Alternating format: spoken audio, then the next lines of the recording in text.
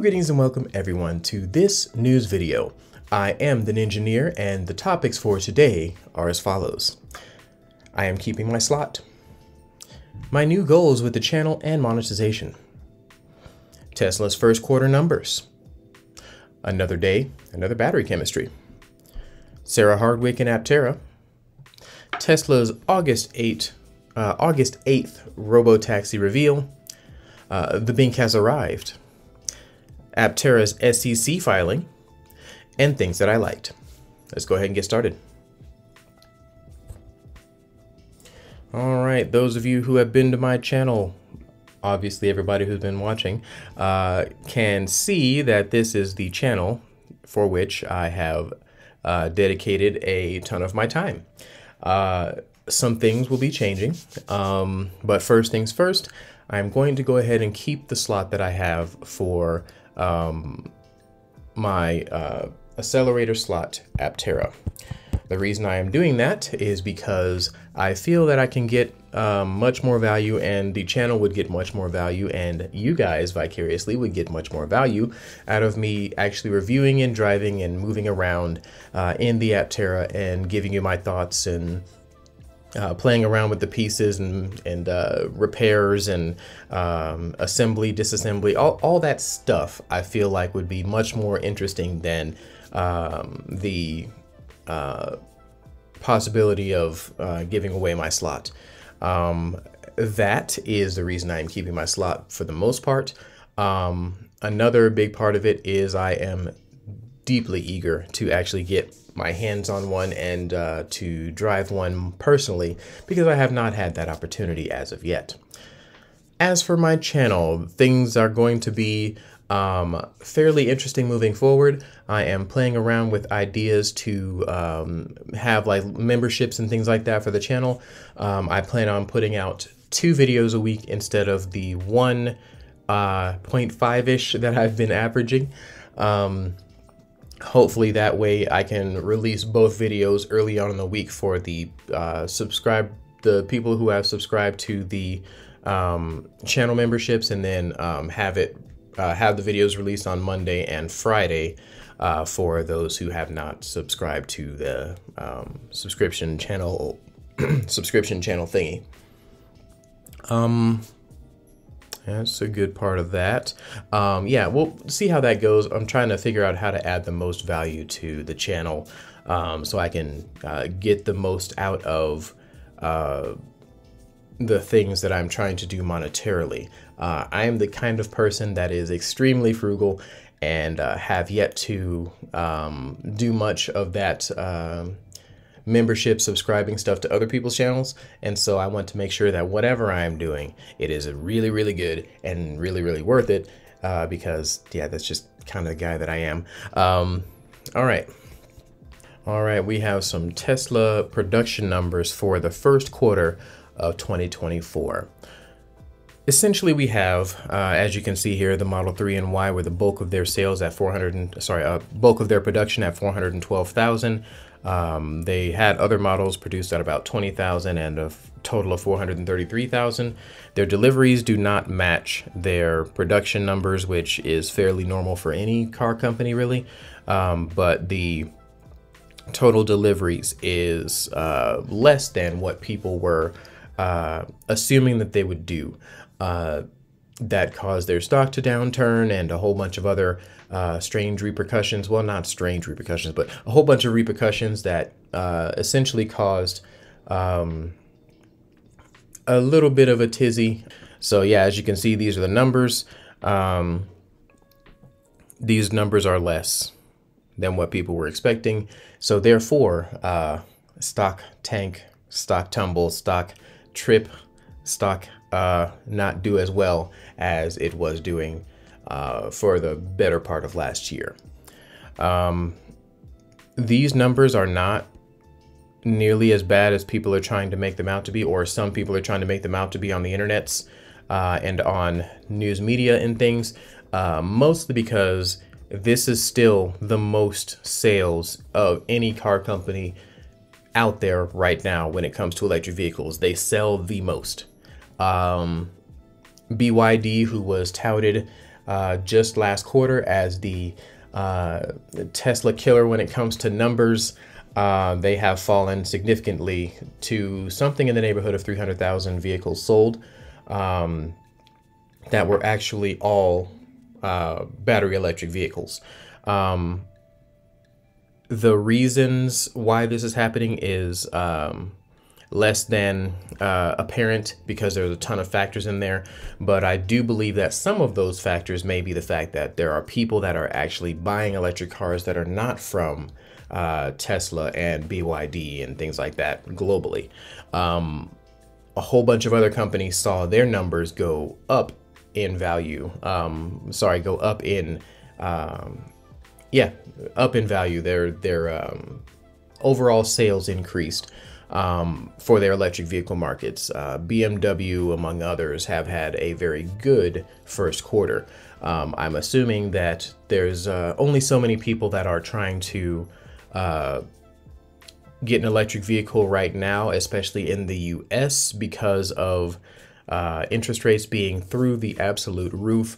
Um, I just played around with the calculator just just for fun to see uh, how much it would be to uh, get a Model 3 and uh, the interest rates on the Model 3 were like seven, six, uh, six points something, really close to 7%.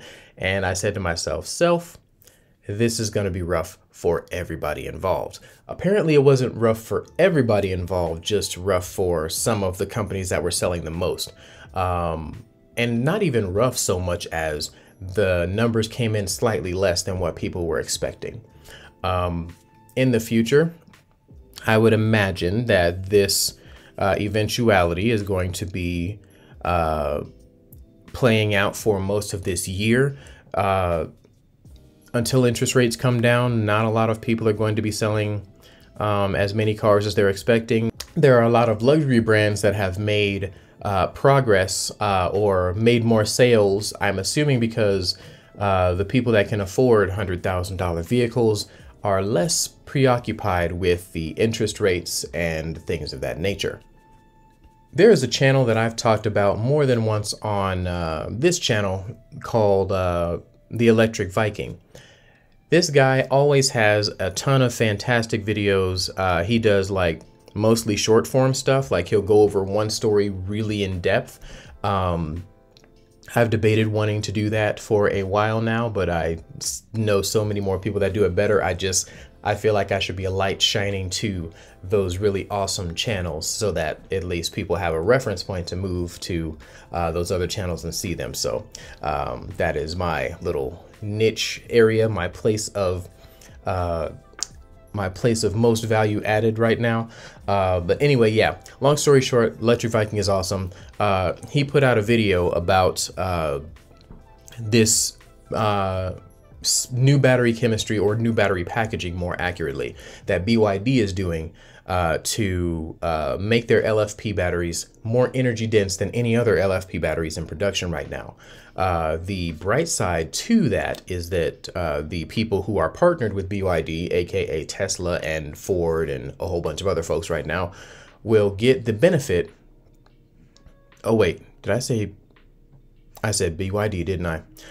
I didn't mean BYD, I meant CATL. Uh, CATL has a new battery that is more energy dense than any other battery out right now. And so people that are partnered with CATL, aka the uh, BYD folks, the Tesla folks, the Ford folks, the Chevy folks, all have the opportunity to benefit from this battery and uh, to benefit from the added energy density.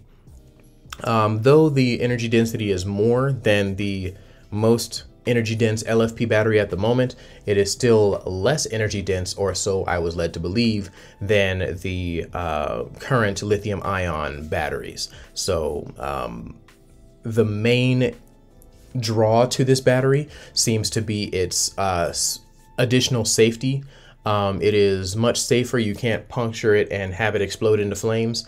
Um, it is more robust, um, a little bit more temperature tolerant, and all those sorts of things. Uh, those factors are what's making LFP more popular. Not necessarily the energy density, but it is worth noting that the energy density of this battery from CATL is going to be uh, higher than any other LFP. So pushing LFPs more into the spotlight, um, making people look more into CA. Uh, sorry, look more into uh, these LFP batteries in order to uh, increase energy density further and make them the dominant battery in the world. Um, so yeah, we'll see how that plays out. Um, I mentioned a little bit earlier uh, in my news videos uh, some months ago, I believe, that uh, CATL was working on batteries and putting them into um, um vehicles and testing them. I believe some of the fruits of their labor was better packaging, and therefore this new battery set was born. Sarah Hardwick is more or less parting ways with Aptera. We're going to talk about a little bit later about uh, the number of employees and, and why it went down and things of that nature. But one of those reasons is because Sarah Hardwick has decided to uh, make her own uh, consulting firm. Uh, she has raised something like $100 million, uh, well, more than a million, $100 million for Aptera to uh, move into the mainstream and get into production and uh, get better media coverage and all that kind of stuff.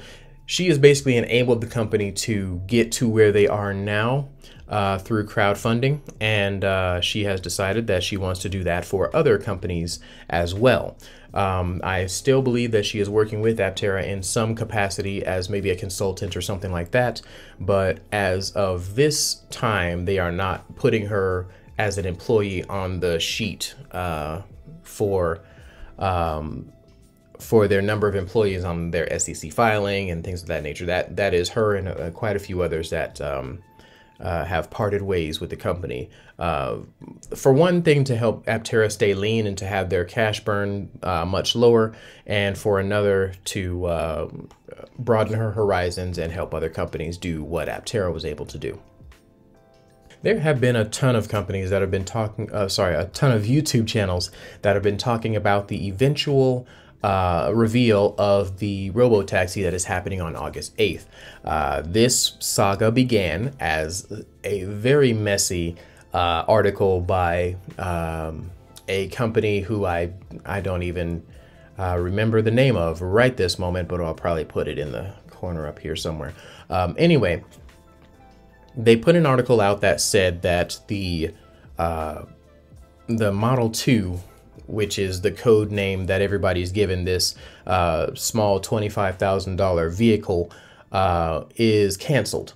That article was another reason why Aptera stock, wow, Aptera stock, why Tesla's stock tanked for a uh, a good half a day until Elon Musk put out a tweet that said, "Stop lying, you're jerks," basically, and um, yeah, it, the stock kind of recovered over the rest of the day. Um, anyway, so this article made Elon announce that he was going to put something out about the uh, the robotaxi, which is on the same platform as the Model 2 theoretically, um, as of the 8th of August. So yeah, we're waiting on the 8th of August. I am fairly excited to see what uh, the difference is between the Robotaxi and the uh, aforementioned Model 2, that's not the name of the thing, uh, will be. Um, a lot of people are speculating that it's just going to be a, a Robotaxi is just going to be a Model 2 without a steering wheel and other things to allow you to drive it. Um, yeah, if that is the case, then I don't think we're going to actually see the Robotaxi in production or anything like that until uh, full self-driving is done. I don't have any reference point for when that will be the case, but it seems as if it'll be sometime uh, mid next year, I believe, where it'll be uh, to a point where they're confident enough to say, okay, we don't need no steering wheel up in this uh, up in this thing. So we'll see how that goes. Um, and uh, for now, we'll just know that uh, uh, there are some news companies that are more uh, genuine than others, and I will be uh, at least uh, I will attempt to be one of the more genuine uh, more truthful, have my facts straight types first. All right, the Bink has arrived, and very uh, a very large number of channels have talked about uh, the Bink arriving um, in Carlsbad, including one of my favorite Aptera related channels, Aptera Owners Club. Uh, they have uh, done quite a bit to um, to their video catalog lately. Um, let's see, something like six videos in the past 11 days. One, two, three, four, five, six. Yeah, they are uh, uh, on an absolute tear. Uh, doing all those videos uh, back to back is something I can only dream of at the moment, but they are still all awesome. This is why I love this channel. They are just on their P's and Q's. Well, he is on his P's and Q's and uh, getting things done. Aptera's SEC filing. So what I'm to do here is I'm actually going to um, X out of those. Uh, oh, wow.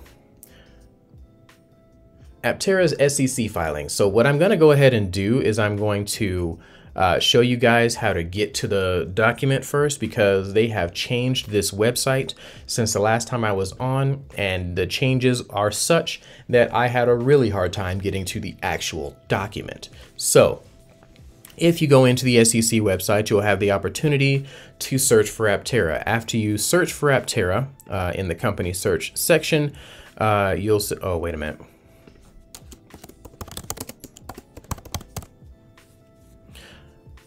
Alrighty. So, uh, after you have searched for Aptera Motors, oh, they don't let you do the thing. Uh, Aptera Motors Corporation, you will see that there is a long list of stuff here. Uh, you have the opportunity to click on the actual Form 1K open document, or you have the open filing section.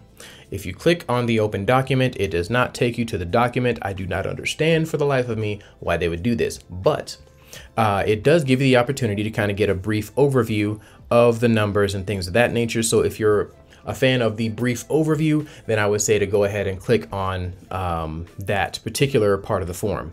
But if you are the type of person that wants to read every single tidbit, detail, and uh, data point like I am, you can go ahead and click on the open filing section of uh, this particular website, and then you can go to uh, Form 1K HTM. When you click on that, it'll bring up the actual form with the ability to jump around to different sections of the form, etc. This is the deep dive, super into it, everything for it, all the statements, all the uh, disclaimers, all the everything. If you're the person that wants to read all of the things, you click on that button and not the uh, actual 1K open document. So if you want the document, don't click on open document. I'm sorry, I had to get that uh, that uh, rant out just a little bit. Anyway, so now that we are in the full details of everything page, um, this whole thing is uh, very interesting. I would suggest reading the entire thing. I'm not going to read the entire thing because I don't want to have a 45 minute video uh, just reading things. Uh, so yeah, uh, the broad strokes, the overall overview of this document is that there are people uh, that have been let go from Aptera. Their number of employees has gone down. Uh, their amount of cash on hand has gone up and then their uh, burn rate has apparently uh, stabilized. I, I, I, say stabilized because they have stopped spending as much because they've done a lot of the tooling that they need for uh, the Aptera to become a thing. Um, they still have a lot more to spend, but for the next few months, I imagine what's going to happen is they are going to just be kind of uh, coasting and putting together the vehicle and uh, just more or less spending capital on uh, people's salaries and things like that. Um, and going to DriftX and, and other events and, and marketing the Aptera. So uh, yeah, their burn rate has stabilized for the time being um, until they have uh, uh, have the ability to move on to their next phase, which is like mass production and what have you. So yeah, that's the basic overview of this document. Um, there are other things that I would like to talk about that I will skip because Aptera Owners Club did a fantastic job of covering the document. I will link that video in the description as well. So uh, yeah, we're gonna go ahead and uh, keep uh, keep a moving here. It is now time for things that I liked. The things that I like for this week are as follows. Um, Aptera, sorry, um, Aptera Owners Club, I already talked about it. They are on a tear. They did a ton of videos this week. Um, I have a lot of admiration for people that are uh, doing a lot with their time. Um, I am not always able to do a lot on this channel, at least with my time. So every time I see somebody just boom, boom, boom, pounding out videos, I'm like, hey, good job. So good job. All right. Uh, there was an interview done by Drive the Lightning that was absolutely spectacular and hilarious and fun. Uh, Chris McCammon is always a great person to interview. He's always very fun and very cool. Um, Drive the Lightning is probably the coolest uh, YouTube channel, the, the the most interesting YouTube channel, the most fun YouTube channel, um, which is why they are my favorite Aptera related channel uh, on the platform. But anyway, when those two gigantically awesome and uh, successful and popular entities get together, uh, only fun times can be had. And that is one of the things that I can say for certain with regard to this interview. Let me go ahead and jump here. Um, essentially, the interview went very well and it was very fun. One of the things that I saw that uh, was super amazing and super interesting and super cool was the fact that um, Chris McCammon actually stood on the Aptera all right, folks. I'm gonna see if you notice what I noticed. Did you notice what I noticed up here when this happened? Thing. I'm, I'm a, if you read my comment, you already know what I saw here. But essentially, he's getting on the top of this thing. There is nothing bending or flexing or giving way or anything like that. When they asked him to stand on the Aptera, I was almost positive that he was not going to because it was uh, going to bow and flex and be a bad look on Aptera.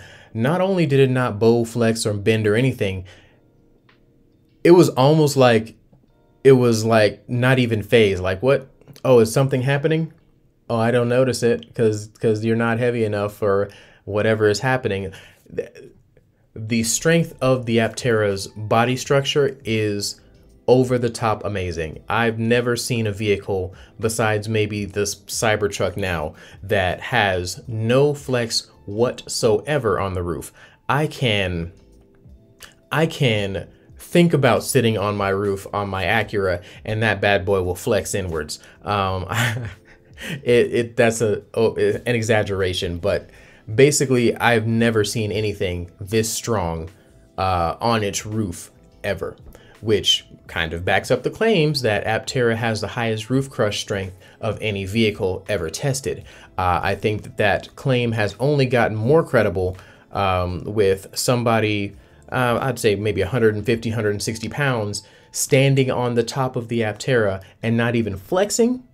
Yeah, bro, that's ironically, that is a flex for the Aptera. Anyway, um, very fun interview. I would suggest checking it out. Uh, there is another video by a channel called Chasing Aptera. Um, he talked about why he invested in Aptera as a as a concept. It was another fantastic video, uh, one that I would suggest you guys checking out. And uh, that will be about the end of this video. Thank you guys so much for watching. I am the Ninjineer, and I'm going to be hoping and praying and waiting to see whether or not I can actually upload this video today. If all goes well, you will see this come out Thursday, April 11th. I have not revised my script, even though I know other things have happened because I didn't want to push my luck and um, lose my window to actually get this video out today. So thank you guys so much for watching. I am the Ninjineer. Do all the YouTubey things, and I will catch you guys next time.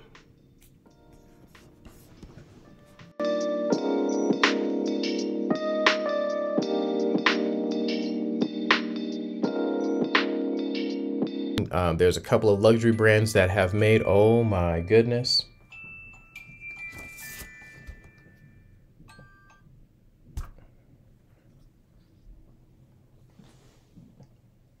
My love, your alarm has gone off. In my room. All right.